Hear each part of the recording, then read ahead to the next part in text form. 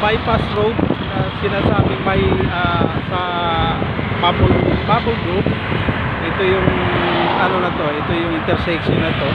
Papakita ko sa inyo kung gaano kaganda itong da- kalsada na to. Papasok sa may Maple Group at lalabas ito sa may tansa. Ito yung bypass na sinasabi. Ito na rin ito dati. Kaya ipapakita ko sa inyo saan.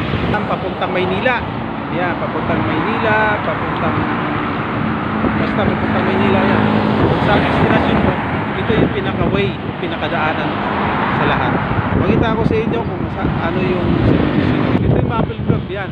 Eh, ito yung papasok ng Trias, Tansa, uh, Maple Grove sa Commercial District.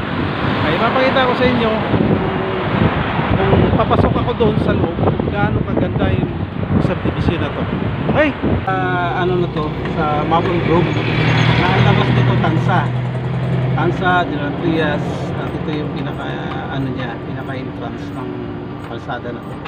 Kaya, pakita ko sa inyo. Pampasok sa Maple Grove, tignan ninyo.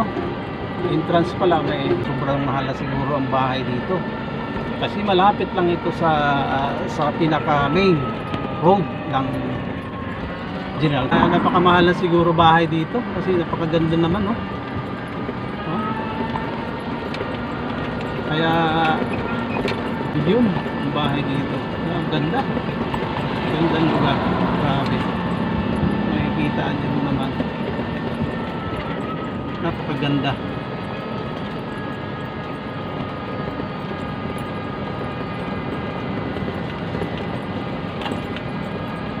Kala mo sa States. Oh. Napakaganda ang lugar. Mga kababayan ko, napakaganda. Yung lugar na to. Alam mo na sa ano, mga first class talagang subdivision, mega world eh. Ah, Maple Grove ang pangalan ng subdivision na to. Kaya halos nakatira dito puro mayayaman na. Napakaganda ang lugar. Napakaganda sa subdivision. Meron na sila mga ano, mga poste. Ah, ayan, para sa mga ilaw at meron ng ano, mga ano na talaga. Nakaporma na at may mga black-black na. Kaya napakaganda talaga. Eh, ito yung mga tagusan papunta ng main road dun sa ano na yan. Lugar na yan. Ganda oh. Ganda oh. Ayan yung papuntang tansa saan ang gusto mo lumiko. Yan. Dito tayo lumiko. Kotse lang. Yan.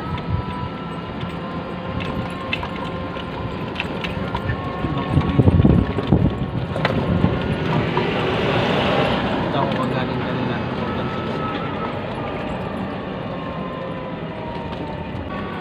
Yata yung ano rin ng mga poste.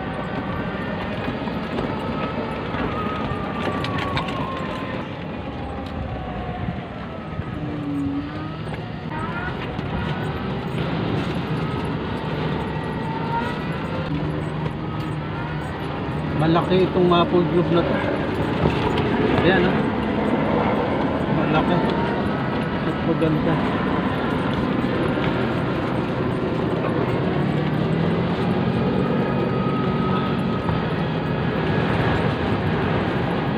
Malaki, ang ganda, ang ganda. Ang ganda talaga. Ayan, nakikita ninyo dyan. May mga block-block na siya. May block 50, block 9. Ayan yung mga poste na yan.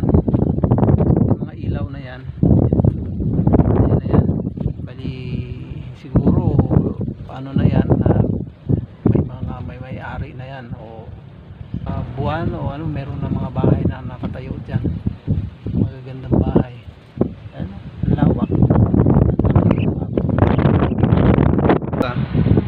Ito yung sinasabing Maple Grove. Ito yung bypass road. Ito Maple Grove. Ito naman papuntang bayan ng General Trias.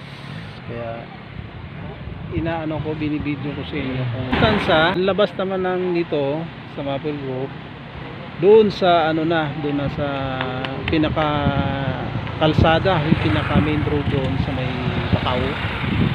May ano, doon na yung pinaka labasan nito. Kaya marami pang hindi nakakaalam dito sa lugar na to, yung mga motorista na umiiwas umiiwas sa traffic dito sa may bandang Tehero na halos kung uh, tawag doon nagsisiksika na doon punong-puno na nagkakaroon na ng sobrang traffic.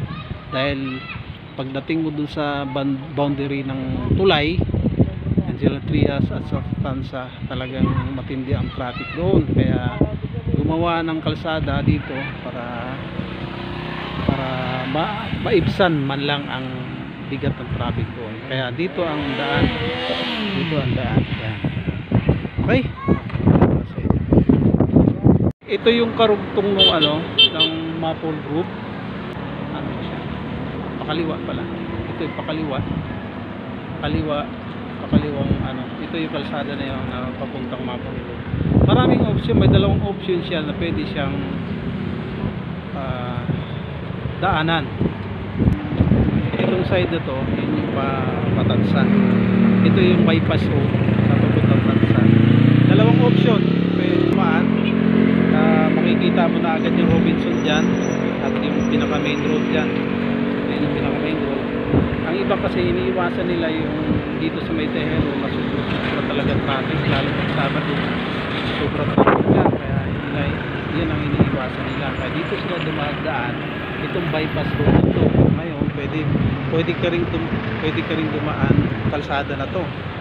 Yan yan yung kalsada na yan pwede na dito pwede ka rin dumadaan dumaan dyan. Papasok na dun sa subdivision ng Maple Group. Yun yung Maple Group na yun yung subdivision napakagandang subdivision. Ang labas naman noon dun na sa may gate 3 sa may gate 3 na ang labas. Kaya marami kasi gustong umiwas sa traffic dyan dyan sa may bandang Tehero kasi pag Sabado kaya mga rush hour napaka-traffic grabe. Kaya dito sila dumadaan. Ito yung bypass road na yan papasok na yan dyan kaya malaking tulong itong bypass road na ito na nagawa. Kasi iiwas talaga ng traffic. Uh, ayan dito na magtapos yung vlog natin mga kababayan. Uh, magandang tanghali po sa inyo lahat. Uh, can share and comment sa may comment section sa baba. At, follow nyo yung Roberto's Vlog TV Mix